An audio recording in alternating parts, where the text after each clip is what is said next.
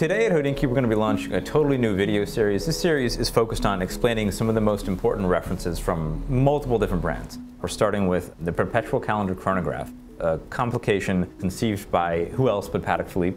We're here at Madison Fine Time in New York City with Michael Safdie, who's the owner, to talk about six different references of perpetual calendar chronographs.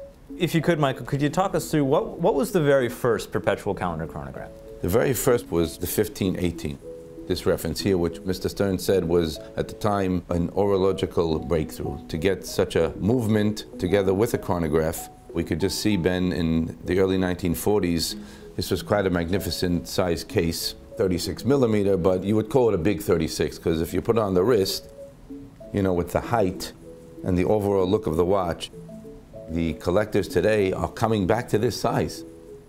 So the, the 1518 is where everything started, and then we went into the next reference, the 2499, which many people believe to be one of the greatest watches ever made. 2499 actually went through tremendous phases as it started right after the 1518, and it looked almost the same with the Arabic numerals in the same case.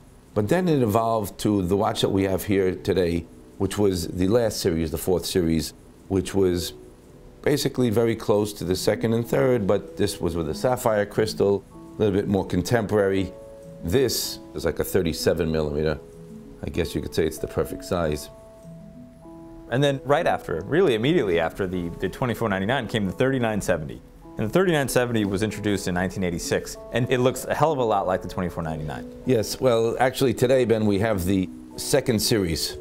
This has the DNA of the 2499 because of the leaf hands and the stick markers it feels like a vintage watch, it looks like a vintage watch, it's in all precious metal, so it, it really has a very vintage feel, but sapphire crystal, sapphire back in most cases. It's ultimately a modern watch that has a very vintage feel. You mentioned the sapphire back. Most second series came with just a solid back, but on request for the client, it came with two backs. This particular watch we have here in pink gold has the sapphire back and the solid back. Personally, it's one of my favorite watches that I wear on a daily basis. So about eight or 10 years into the 3970, we get kind of an oddball reference that was, from what I understand, not very popular at the time, and that's the 5020. It's essentially the, the TV perpetual calendar chrono. Yeah, uh, you use the right word, oddball, because at the time it wasn't desirable at all. Amazing in time how this watch today went from, let's say, you know, a $35,000 retail to close to 200. The reason is it wasn't made in too much of a large production. And I think now the connoisseur appreciates the rarity of the so-called TV set with the Breguet numerals. To me, it's a work of art. And then in 1995, we get a totally new take on the perpetual calendar chronograph, and that we get a split second chronograph with perpetual calendar in the 5004. I was sitting at a dinner at the opening of the new salon in 2007 next to Mr. Stern, and he told me, he said, Michael, the 5004, when it's canceled, will be the next 24.99. And to me, I happen to be wearing one today. This is the Spitz, as they say. It seems like, you know, the, the collectors that I'm friendly with, I mean, the 5004 is kind of like, it's it. It's really one of the watches that you just kind of have to have if you're in that kind of bracket. 5004 is just as good as it gets. This particular watch we have today has the black Arabic dial. When they first made it, they did make a lot of the black, and then they stopped completely and went to the silver. So this is resurfacing as a much rarer, more desirable dial.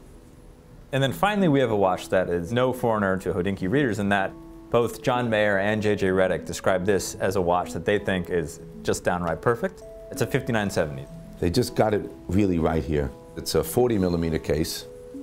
The market took to this very well, and when it was canceled, it's been going like very up, up, up, hitting auction prices now around the 200 mark.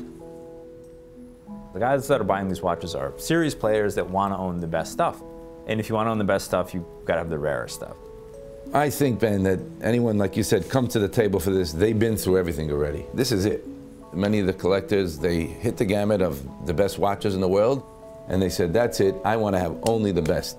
And that's when they come to this.